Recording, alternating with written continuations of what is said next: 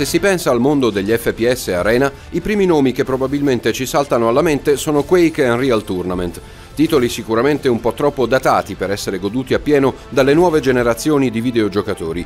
Ed è proprio questo il motivo che ha spinto una casa produttrice quale Blizzard a proporre qualcosa di nuovo e innovativo, pur rimanendo con un occhio rivolto al passato e ai padri di questo genere. Dopo quasi un anno tra closed e open beta siamo infatti arrivati al momento che molti di voi attendevano con impazienza, il lancio ufficiale. Overwatch riesce a rinnovare l'ambiente introducendo con successo meccaniche prettamente appartenenti all'universo MOBA, come le skill e la funzione degli eroi. Non basterà più infatti saper sparare dritto per potersi aggiudicare la vittoria in una delle 12 mappe a nostra disposizione, ma dovremo essere anche in grado di bilanciare correttamente la nostra squadra. Ognuno dei 21 eroi attualmente disponibili possiede 4 abilità base uniche, più un ultimate che potremo caricare nel corso della partita ottenendo punti, accumulabili infliggendo danni ai nostri avversari, curando i nostri alleati o aiutando a completare gli obiettivi di missione di ognuna delle tre modalità di gioco, ovvero Assault, Escort e Control. Ci imbatteremo anche in partite ibride come la Conquest Escort.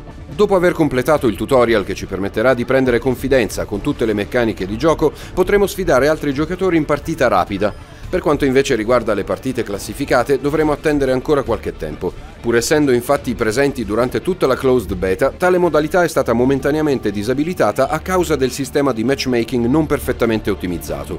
Per quanto manchi una campagna e sia possibile giocare solamente online, la lore non è stata trascurata da casa Blizzard. Ognuno dei personaggi dispone infatti di una sua storia destinata ad evolversi nel corso del tempo anche attraverso le cinematiche o le varie novel, alcune delle quali già pubblicate. L'aspetto grafico del gioco va a riprendere da un altro classico del genere, Team Fortress 2, mostrando uno stile cartunesco ma non per questo deludente, anzi.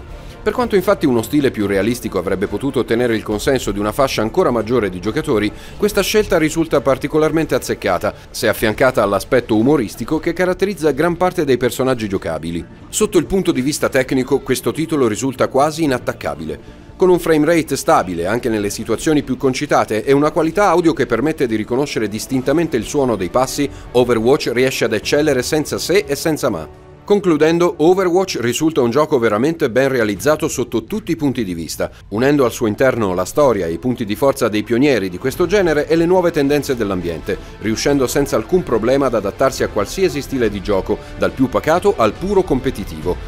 Con qualche minima correzione potremmo trovarci di fronte al futuro degli sport mondiali.